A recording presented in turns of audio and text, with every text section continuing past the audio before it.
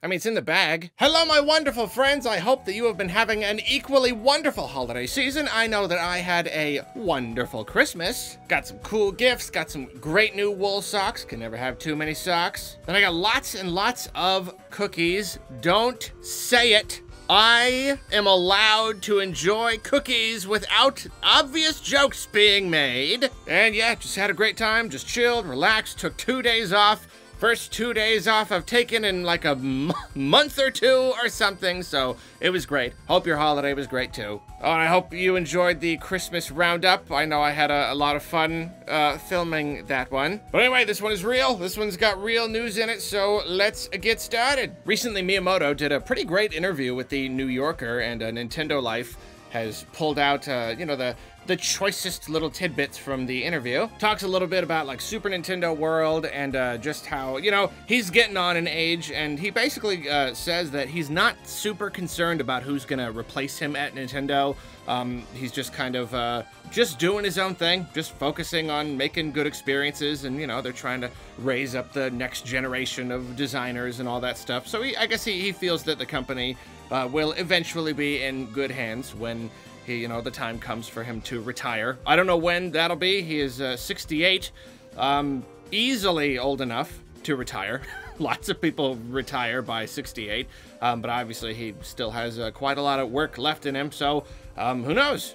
He also talks about it's a really great interview. It really goes into a lot of a lot of depth, a lot of really nice, like long, like personal answers from Miyamoto. Um, he talks about how uh, when his kids were kids, and you know, back in the the really you know the pretty early days of Nintendo, his kids they play you know they played a whole lot of video games.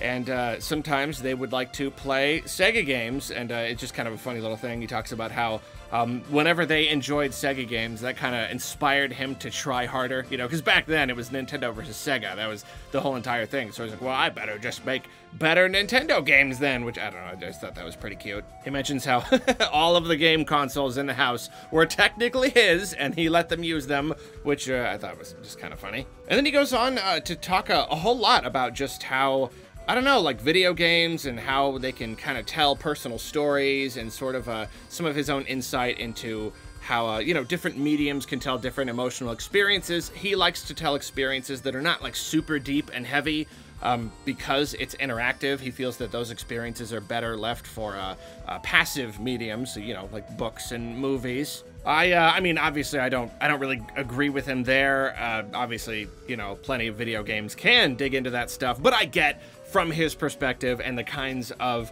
experiences he wants to make. He's not interested in that, although he does say how he likes the idea of a person um, being aware of the motives of the enemies that you kill, even even in Mario games. He says he, he, he has thought a lot about how even the monsters in a video game, they they have motives and uh, reasons for being the way that they are. And I think that's really funny because um, he's, I mean, this is kind of a really big discussion, um, but basically, like, a lot of people get on his case uh, for not liking stories. And uh, that's kind of true. He doesn't like deep stories in the way that he just mentioned. He thinks because it's interactive and he just is not the kind of thing he wants to do.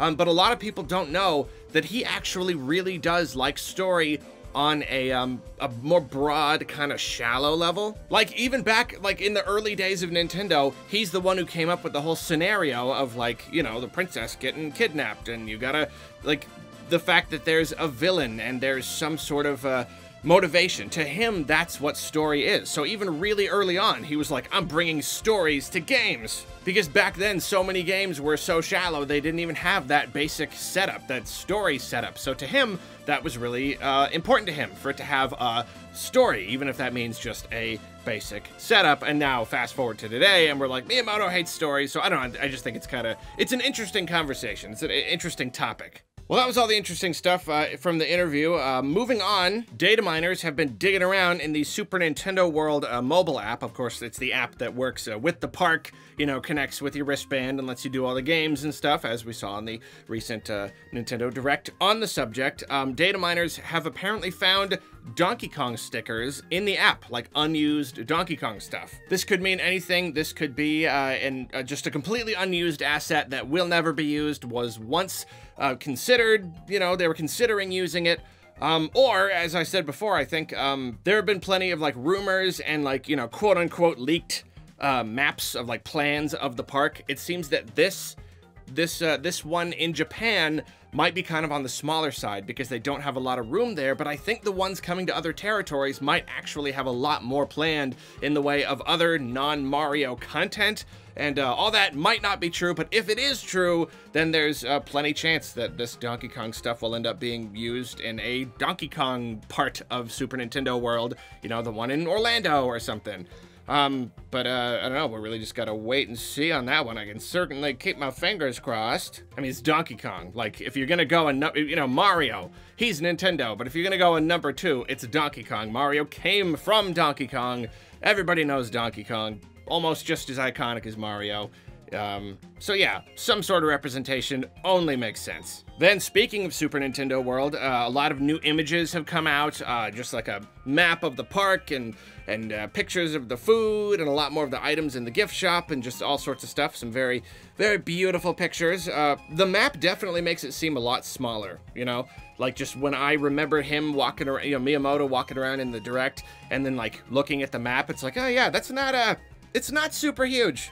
Um, it does still look very cool though, but definitely not very big. But yeah, check out those images if you haven't yet. So, Did You Know Gaming has done what I would consider a, uh, a superb, a superb bit of uh, investigation. They've dug through all of the different Mario Party games, and they've come to the conclusion that there is no way that you can affect dice rolls you know, everybody, you know, oh, if you hit it at the right time, you know, when it's flashing the right number, it might affect something. But apparently, it is pretty much always either completely random, generated on the spot, uh, or predetermined. So, uh, I don't know. I thought that was pretty interesting. I mean, it makes it easy. I mean, it's a little bit fun, like, trying to time it. But, I mean, you know, now whenever you play any Mario Party game, you just, just hit the button right away. Because it really doesn't matter, apparently. As reported by Nintendo Life, of course, GameIndustry.biz uh, has put together a really great little, like, uh, just kind of a breakdown of, like, stats and stuff on video games and consoles and what sold and and uh, just a bunch of bunch of different stuff uh, for the UK. And there's a lot of interesting information there. Uh, and it seems that Switch owners, uh, out of the, you know, out of the three major consoles or three, you know, major platforms or whatever, Switch owners are the most likely to own a rival console, um, which makes a lot of sense. I mean, you know, most people who have an Xbox are less likely to have a PlayStation, but then like having a Switch, yeah, that makes sense, you know, because it's not really a direct, direct rival. They're rivals in ways, but it also offers a different experience. So yeah, it makes sense that a lot of people that have the Switch also have at least one of, you know, a different console. Nintendo of America has opened up 18 internship positions. These cover a pretty wide breadth of just game stuff, game industry stuff. Uh, most of the positions are in uh, Redmond, Washington, the Nintendo of America headquarters. So if you live around there and you're getting your degree, here you go. There are 18 positions. Open it up at Nintendo. Pretty cool. Nordisk Games, not to be confused with Nordic Games, has uh, bought 40% of Mercury Steam.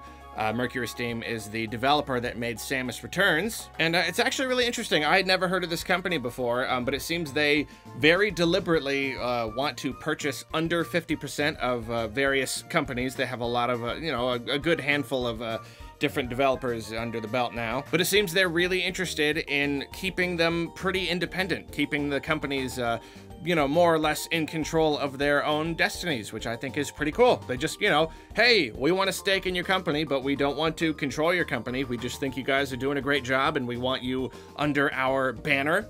So, I don't know. There you go. And of course, I don't know um, you know, we, we've all got our fingers crossed the Mercury Steam, well, I do, a, a, fair amount of people, fingers crossed that Mercury Steam is working on some other Metroid project. Um, nobody knows if they are or not, and if they are, whether or not this affects that. Probably not, just based on what we're seeing here. It seems they'd be able to continue. Um, so hopefully they are.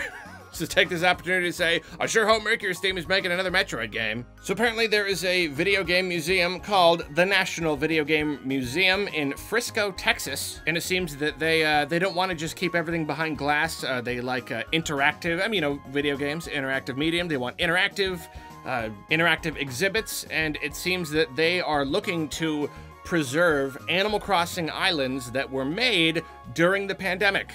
I guess they just think that's an interesting. I mean, it is. It's an interesting piece of video game history, and so apparently people are able to uh, submit their islands to kind of just be preserved in this little this little chunk of history. That time, everyone had to stay home, and a bunch of them played Animal Crossing, which is um, a really interesting idea that I cannot say I had considered. Pokemon Company recently outlined their plans for the new year and for January for uh, Pokemon Go. Uh, I can't even see any like specific highlights. It's just a massive, just a massive list of things that will be happening in various events and costumes and doodads. If you play Pokemon Go, check out the list if you haven't already, which you probably have. So let's move on. So the uh, Pokemon TCG, it seems that the uh, the Cinderace card in the base set of Pokemon Sword and Shield was printed with an error. Its retreat cost is supposed to be two colorless energy, but they printed it as one.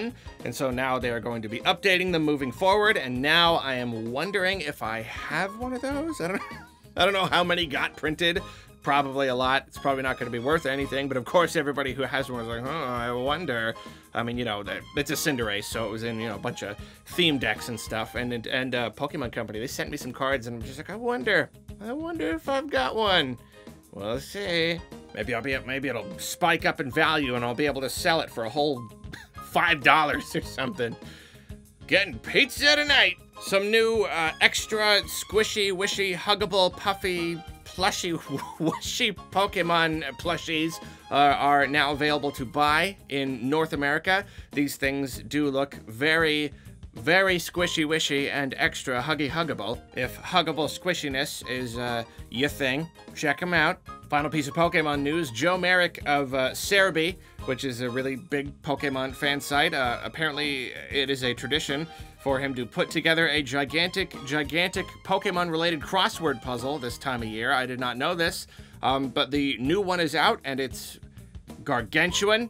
Just absolutely huge. Apparently, it's just like a super hardcore Pokemon knowledge crossword puzzle. So if you fancy yourself a, a hardcore Pokemon fan, maybe you're one of the people who uh, applied for that that Tencent position I talked about one or two weeks ago. Uh, maybe you'll be perfect here. You can just put this in the resume. You beat the crossword puzzle and you're like, I did this in an hour, and you send it to Tencent, and that's your that's your application.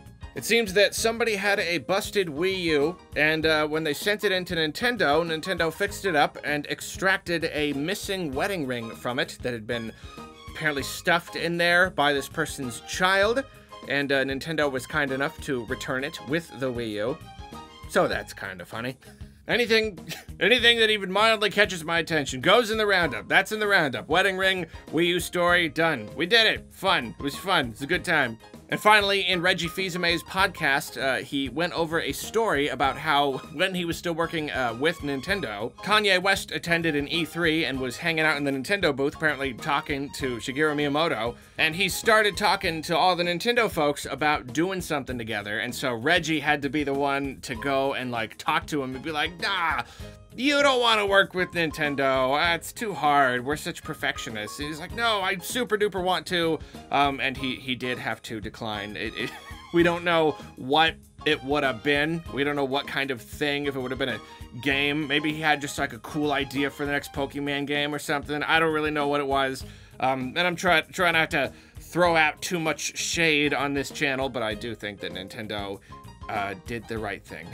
did the right thing. Uh, he's uh, he doesn't seem to be the easiest person to work with, and I can't get behind some of the uh, decisions he's made and actions he has taken as a professional, even though I am intensely curious to know what he had in mind. Uh, apparently, we will never know because Nintendo did have to decline, and it was Reggie himself. Reggie fils himself had to say to Kanye West's face, Sorry, man, we don't really want to work with you right now. And with that, this edition of the Nintendo News Roundup is done and dusted, as Kane would say. Must be a must be a Britishism, I suppose. He also says H instead of H. I did not know that was a thing. I didn't know that was a thing at all until until I talked to Kane. Interesting. It's amazing uh, the the the rich, colorful tapestry that makes up humanity. But yeah, that's it. And that's that's the year. We're wrapping a year right now. We're doing it. Hey, everybody. We're wrapping up a year. Well, it wasn't a solid year. Uh, what did I start these in? Like April or something? But whatever, it's the end of the year, the end of a year of news roundups. Oh, we're here, we're at the end, it feels great. Thank you so much to anybody who's stuck around and who has been enjoying these news roundups. Are you still enjoying these news roundups? Do you want me to keep doing them in the new year? If so, please go down to the comments and let me know so I can just stroke my ego and praise myself and pat myself on the back. Go Arlo, these roundups are great. Even though we should be praising Kane and Yoshiller for making these roundups because they're done so well and so professionally and it's great. And I just read the stories and I send them to those guys and they do them and they do a wonderful job. Give it up for them. Forget the other thing. Well, no, you can tell me if you like them and you want me to keep doing them. But then, on top of that, more importantly, give a shout out to Yo Yoshiller and Kane down there I want every single top comment, every top comment, with all the upvotes and everything, I want every single one to be only talking about how awesome Kane and Yoshiller are. So go do that. Have a great year. Happy New Year. Have a good day. I love you. Goodbye.